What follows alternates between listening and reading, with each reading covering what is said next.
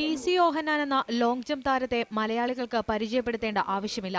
ആയിരത്തി തൊള്ളായിരത്തി എഴുപത്തിയാറിലെ മോൺട്രിയോൾ ഒളിമ്പിക്സിൽ മെഡൽ നഷ്ടമായതിന്റെ ദുഃഖം ഇപ്പോഴും മറക്കാനായിട്ടില്ലെന്ന് ടി സി യോഹനാൻ പറഞ്ഞു. അന്ന് എന്റെ ഏറ്റവും നല്ല പെർഫോമൻസ് ചെയ്യായിരുന്നെങ്കിൽ എനിക്കൊരു മെഡൽ കിട്ടിയാണ് അത് ചെയ്യാൻ സാധിച്ചില്ലെങ്കിൽ നിരാശയുണ്ട്. ഫോർട്ടി ഫൈവ് ജമ്പേഴ്സ് ഉണ്ടായിരുന്നു.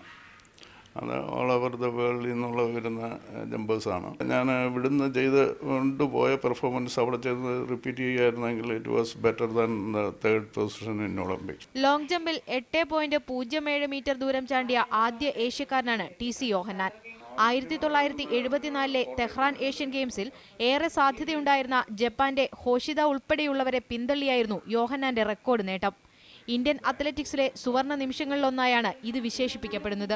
ഇൻ ബിറ്റ്വീൻ ഉള്ള സമയം ഒരു forty minutes forty five minutes കഴിഞ്ഞിട്ടൊക്കെ ആയിരിക്കും ഒരു ജമ്പ് കിട്ടുന്നത്.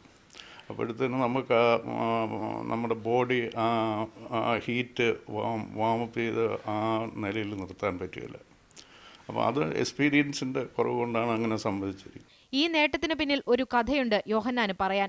സ്കൂളിലോട്ട് പോകുന്ന വഴിക്ക് ഒരു മൂന്ന് കിലോമീറ്റർ നടന്നിട്ടാണ്. അത് തെങ്ങും പുരയിടവും വയലും തോടുമൊക്കെ ഉള്ള സ്ഥലങ്ങളാണ്. അപ്പോൾ പോകുമ്പോൾ ഒരു ചെറിയ സ്ട്രീം ഒരു ചെറിയ തോടുണ്ട്. അത് കൂട്ടുകാർ ഞങ്ങൾ ബെറ്റ് കെട്ടി ചാടിക്കിടക്കാമെന്ന് ചോദിച്ചു ഞാൻ ചാടാമെന്ന് പറഞ്ഞു. ചാടി വെള്ളത്തിൽ വീണു. തിരിച്ച് വീട്ടിൽ പോയി. എന്റെ ഫാദർ വീട്ടിൽ നിന്ന് വിളിച്ച് തിരിച്ചു കൊണ്ടുവന്ന് അത് ക്ലിയർ ചെയ്യുന്നവരെ ജമ്പി ചെയ്യിച്ചു. അപ്പോൾ അത് ഒരു ഇൻസ്പിറേഷൻ എനിക്ക് കിട്ടി എന്റെ ഫാദറിൽ നിന്ന് ആയിരത്തി തൊള്ളായിരത്തി അറുപതിലെ റോം ഒളിമ്പിക്സിൽ നാനൂറ് മീറ്ററിൽ പറക്കും സിംഗ് എന്ന് വിശേഷിപ്പിക്കപ്പെടുന്ന മിൽഖ സിംഗ് നടത്തിയ റെക്കോർഡ് കുതിപ്പിനോടാണ് യോഹന്നാന്റെ നേട്ടം താരതമ്യപ്പെടുത്തുന്നത്.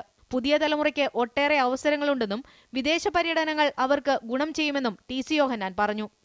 ക്യാമറ പേഴ്സൺ ഇക്ബാലിനൊപ്പം ആദ്രാഗസ്റ്റിൻ മീഡിയ വൺ കൊച്ചി.